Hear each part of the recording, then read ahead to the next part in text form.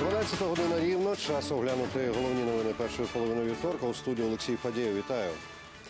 Верховна Рада сьогодні розпочала свою роботу. Відкрив сьому сесію восьмого скликання спікер Андрій Парубій. А на церемонії виступив прем'єр Володимир Гройсман.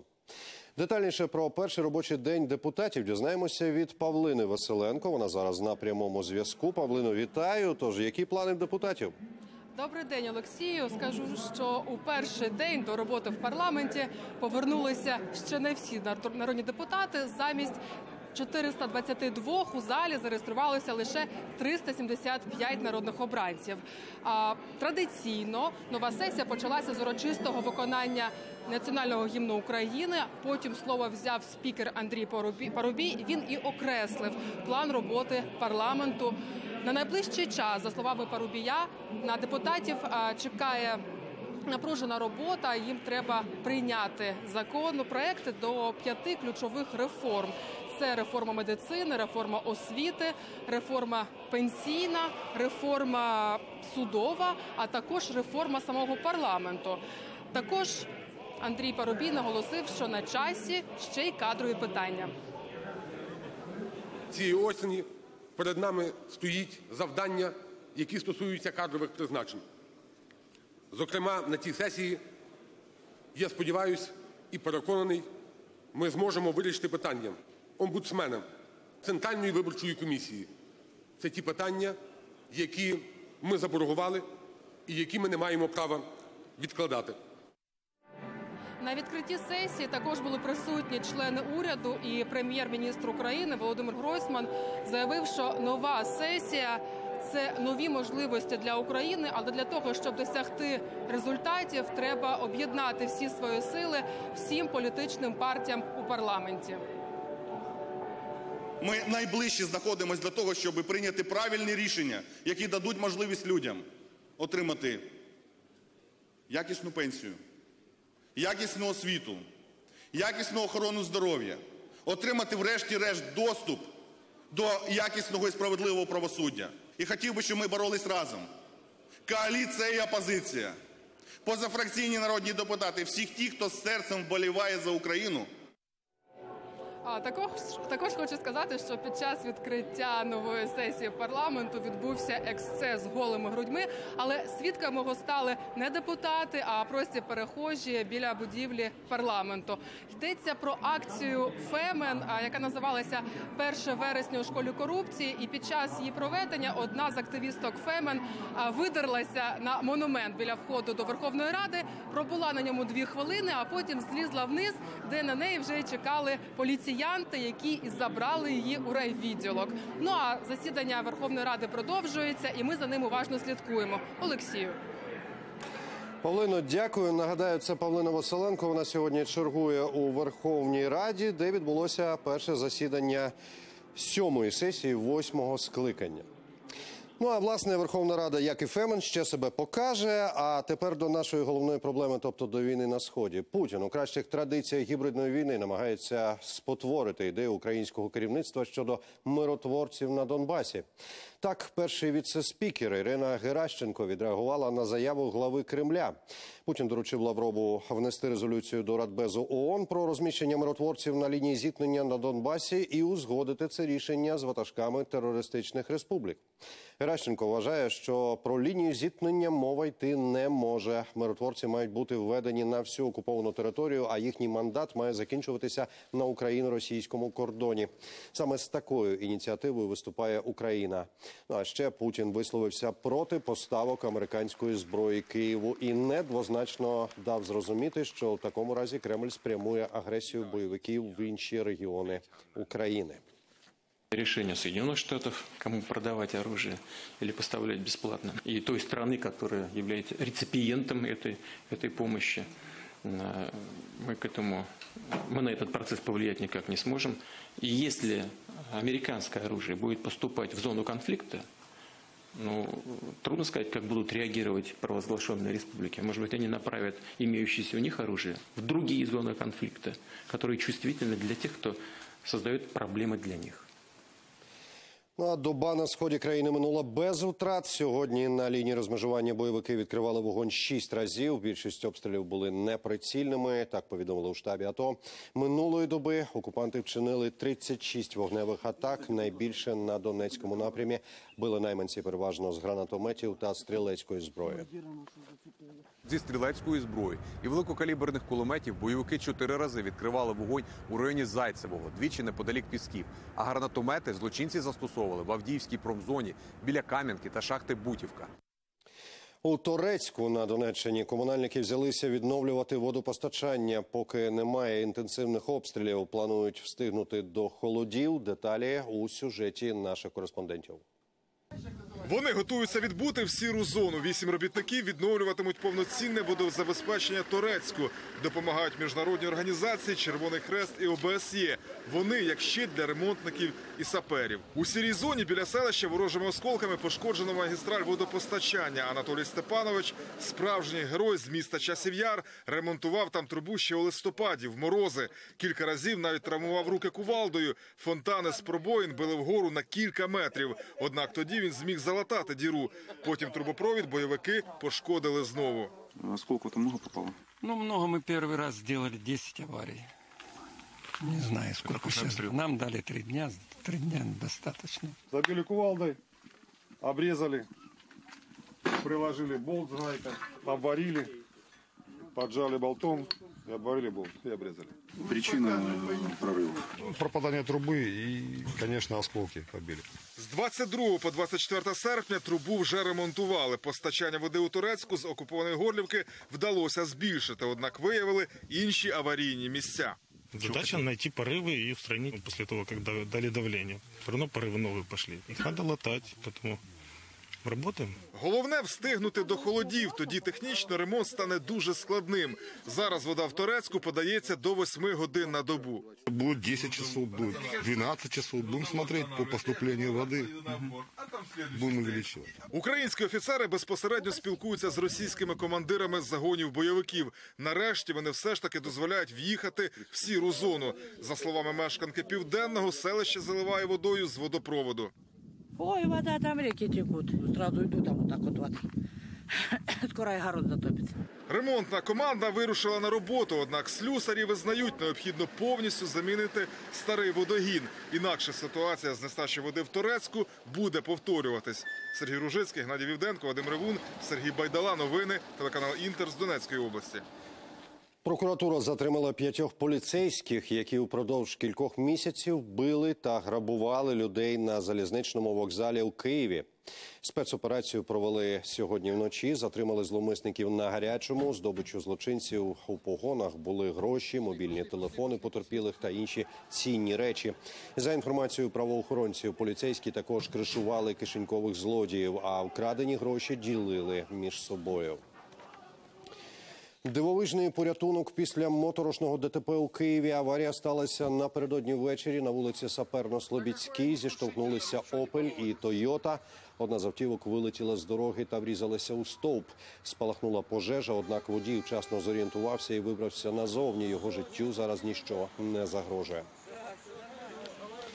З одним умивальником вбиральною на вулиці у приміщенні, яке не ремонтували десятиліттями, працюють у Сарнах. Це Черкащина, лікарі швидкої допомоги. На капітальний ремонт немає грошей, а переселити медзаклад в інше приміщення не бажають районні чиновники. Про жахи екстреної допомоги. Наш наступний сюжет. Шутка допомога сарний. Усе по-домашньому. Маленька кімнатка, тахта з покривалом. Це диспетчерська та маніпуляційна станція швидкої допомоги, які обслуговують 100-тисячний район. Багатодітні сім'ї, хворі, літні люди та бурштинокопачі після постійних розбірок. Всі вони під їхньою опікою. В екстрених медиків екстремальні умови праці. Це в закордонних фільмах та в обласних закладах. Гардеробні, душові, кімнати відпочинку. Тут одне приміщення з ліжками і для жінок, і для чоловіків. Вішалка у коридорі та один єдиний умивальник при вході з холодною водою. На гнилій підлозі лінолеум, який розлазиться. Тут ремонти не робилися, такі капітальні ремонти, ну років 40, мабуть, точно не робилися. А це схоже на тюремну камеру для відвідувань, кімната відпочинку водіїв і заодно їдальня. Скромно, без шику. Але водії не скаржаться. В них інша мрія гараж, хоча б один на всі п'ять машин, але щоб з ямою. За свої гроші деколи робить. Не ями, нічого, їдеш. Ну я за свої платив. Я не знаю, хто там платив благодійно. Буває, що ями нема, треба там 5 минут на ями. Їдеш, шукаєш яму, просиш когось там фірми. То їдеш до в автопарк. Михайло Іванович на швидкій 30 років, і всі ці 30 ось у цих кріслах. Прямо у коридорі кіно та актовий зал. Тут також влаштовують наради. Коридор прикрашає телевізор. Він, окрім холодильника, який придбала проспілка, найновіша техніка на станції. Ще там є машини, не старі, 2013 року. Щоправда, всі ці чотири Peugeot уже не здатні їздити селами. Справляється тільки газель, але з нею теж біда. Тут немає вже сіла батарея в дефібриляторі, немає дихального обладнання, немає дефібрилятора, немає кардіомонітора, кардіографа, є тільки імобілізаційне обладнання, ноші. Станція підрозділ Рівненського обласного центру екстреної допомоги. Побачивши нас, емоції не приховують. кажуть, закидали листами районну владу в Сарнах. Просили передати 12 порожніх кабінетів в міській лікарні. Тобто я хочу, щоб переселили в інше приміщення. Це називається авантюрне бажання. Телефонуємо голові Сарненської райради. Про проблему знає, але каже, до нього давно ніхто з проханням не звертався. Останнім часом якби якихось звернень не було. Давайте можемо повернутися, якщо до вас хтось звертався, без питань. У центрі екстреної допомоги запевняють, переїзд у нове приміщення єдиний вихід, адже у старому, як не ремонтуй, про навіть елементарні санітарні норми і говорити не доводиться. Сергій Ружицький, Інна Білецька, Микола Василюк. Новини телеканал Інтер. І мушу виправитися. Сарни це Рівненська область. Йдемо далі. Бронежилет майбутнього розробив школяр із Кіровоградщини. Він у рази легший за металевий. І як твердить винахідник, кулі від нього просто відлітатимуть. Довести це мають реальні випробування, що розпочнуться вже незабаром. Яким може бути захист майбутнього? Дивіться далі. Винахіднику Артемові Самсонову лише 16. Його модель бронежилета втричі легша за звичайні, а ще дешевша і має вищий рівень захисту, стверджує Артем. Ми не можемо змоделювати влучання кулі, тому що це шкільні умови, це, ну, це маленькі масштаби, і тому було використано такий ось вантажок. І він відпускався з певної висоти, і за законом збереження енергії було визначено е, ту енергію, яку поглинає ця речовина. Пластини в розробці Артема схожі на соти. Туди за спеціальною технологією заливають неньютонівську рідину, яка в разі сильного удару вмить перетворюється на надміцний матеріал. У нас є пластина, в ній знаходиться неньютонівська рідина, перегородки дуже тонкі. І при влучанні кулі е, вона абсорбує енергію і розподіляє її по всій, по всьому периметру цієї пластини. Тобто е, у нас е, не є як е, у звичайному тканинному бронежилеті. Над своїм винаходом Артем працює вже два роки. Цьогоріч його запросили продемонструвати пластини на міжнародній виставці винахідників у Бразилії. Викладач Артема переконаний, винахід хлопця це технології майбутнього. Зрозуміло, що існує певна межа міцності, і тому цю межу міцності ще потрібно досліджувати. Чому? Тому що в залежності від того, яка буде пуля. Для деяких е, куль потрібно буде е, дві пластини, тобто на з'єднання одна з е, на, на іншу, або три. Ну, все одно це буде набагато менше вага, ніж залізна пластина. Уже цього року Артем зі своїм вчителем планують звернутися до військових, аби ті протестували розробку, і потім хочуть запатентувати свій винахід. Олена Бридза, Володимир Кувакін. Новини телеканал Інтер. Кропивницький.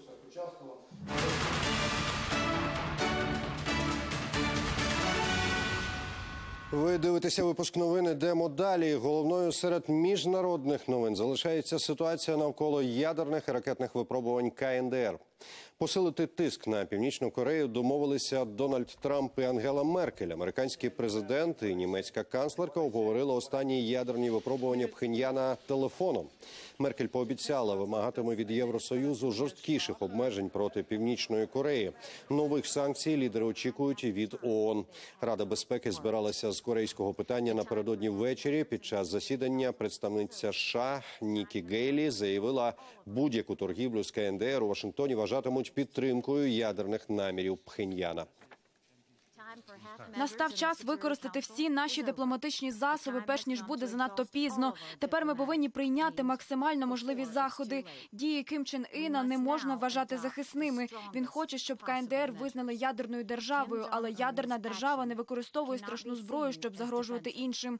Ядерні сили розуміють свої обов'язки. Кім Чен Ін не проявляє такого розуміння. Його зловживання ракетами та погрозами показує, що він напрошується на війну. Ну, а тим часом Пхеньян готується до нових випробувань. Агенція Reuters із посиланням на південно-корейські змі повідомила до західного узбережжя КНДР військовослужбовці країни, нібито переміщують щось схоже на міжконтинентальну балістичну ракету. В агенції зазначили, там прибувають об'єкти для запуску, перевозять зброю таємно вночі, щоб уникнути спостереження. Оборонне відомство Південної Кореї інформацію про можливі випробування підтвердити не змогло.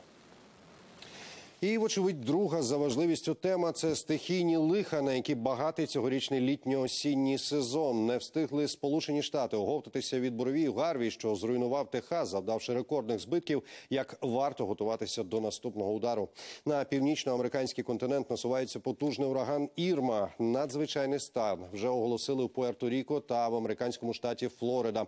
Ірмі вже надали четверту з п'яти можливих категорій потужності. Вітер усередині урагану сягає 220 км за годину. І за прогнозами, вже сьогодні ввечері циклон шторм накриє острови в Карибському морі. Ураган принесе з собою штурмові хвилі, вітер та зливи небезпечні для життя. Люди в зонах ризику запасаються їжею, водою та батарейками.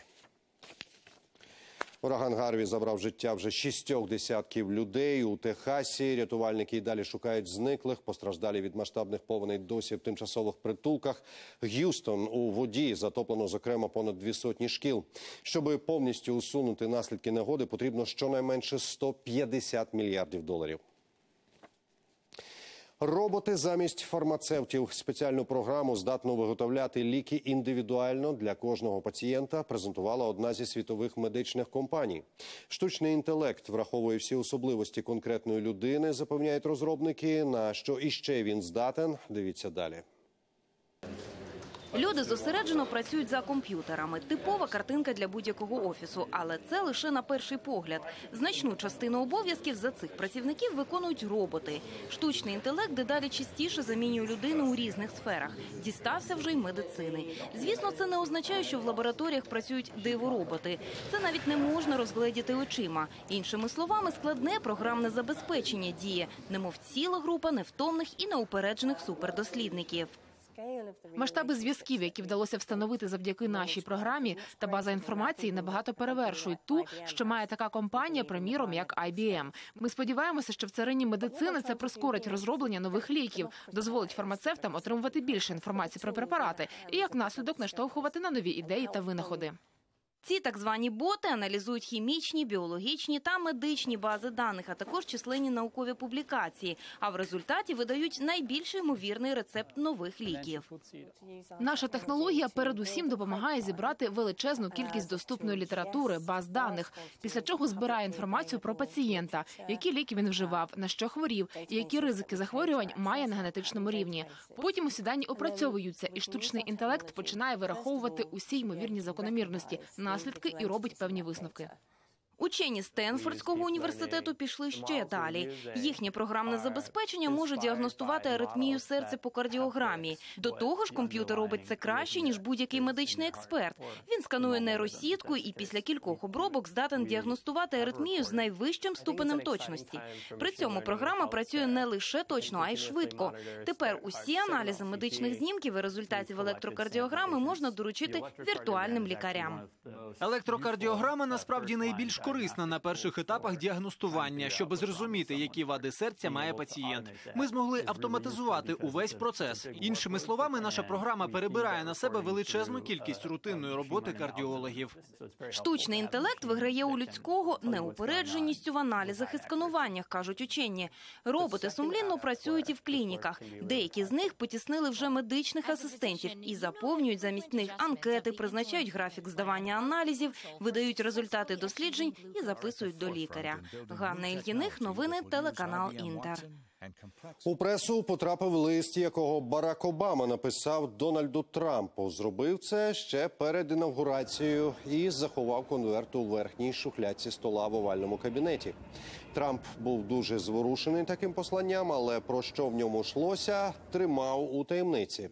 І от тепер телекомпанія CNN дізналася про зміст послання. Обама наголосив, Сполучені Штати як лідер мають стежити за порядком у всьому світі та дотримуватися верховенства права. А ще нагадав Трампу, що той в Білому домі тимчасово. Найдовший вантовий міст у світі відкрили в Шотландії. Стрічку під час церемонії перерізала королева Єлизавета. Нова конструкція завдовжки майже три кілометри пролягає через річку Форт і з'єднує Единбург і північну Шотландію. Будували міст шість років. Коштував він більше ніж півтора мільярда доларів. В Единбурзі сподіваються, що конструкція прослужить щонайменше 120 років. Польський пенсіонер утретє перетнув Атлантичний океан на байдарці. 71-річний Олександр Доба розпочав своє плавання із затоки у Сполучених Штатах. До суходолу пристав на французькому узбережжі. У відкритому океані провів більше ста днів. На середині шляху мореплавця виникли складнощі зі стерном, але йому вдалося полагодити несправність і успішно завершити мандрівку. Парасольку соняшник презентували американці на виставці побутової електроніки в Німеччині. Пристрій оснащено сонячними батареями, камерою, мікрофоном та ліхтарями. Його можна під'єднати до різних гаджетів і керувати дистанційно. Роботизована парасолька обертається за сонцем, затіняє двір, водночас накопичує енергію для освітлення вночі. У продажу вона з'явиться вже за рік. А от скільки коштуватиме, поки що не кажуть. Мистецтво з металу та бетону у Черкасах фестиваль паркових скульптур. Цього року композиції створюють вісім скульпторів з усієї України. Над чим чаклують, бачили мої колеги. Деталь за деталлю Наталя створює міфічного змія. Це найбільша скульптура на цьогорічному фестивалі у парку Сосновий бір. Над нею працюють одразу троє скульпторів. Один із співавторів диво рептилії чоловік Наталі. Жінка каже, у майстрів роботи багато, а зайві вмілі руки їм точно не завадять. Мені приємно, мені дуже подобається ця робота. Чому сам? Не знаю, так народилася такою любов'ю. Я робила, любила робити таку роботу ще як була зовсім молода, ще як була підлітком. Мені подобалося займатися такою роботою. То я кайфую, як роблю. Змій єдиний фантастичний герой на фестивалі скульптур. Решта прообрази реальних прадавніх тварин. Тут і шорстистий носоріг, і мамонт, і мушля часів палеоліту. Над дев'ятьма скульптурами працюють вісім майстрів з усієї України. Автор змія Роман Турецький каже, за основу взяли істот, які колись жили у цих місцях. Зі скульптур у парку створять цілий інформативний комплекс для дітлахів. Така головна ідея фестивалю. Мы хотим поставить э, два э, больших, э, достаточно больших стенда сверху и снизу, на которых будет описано про этих существ, и ребенок сможет их найти. Відпочивальникам ця ідея до вподоби. У майбутньому експозицію об'єднають струмками та невеличкими басейнами. Частину скульптур вже завершили. Хоча відвідувачам парку вже кортить побачити казкову галявину з дивотваринами загалом. Хотелось бы посмотреть все в конечном результате, когда будет водичка.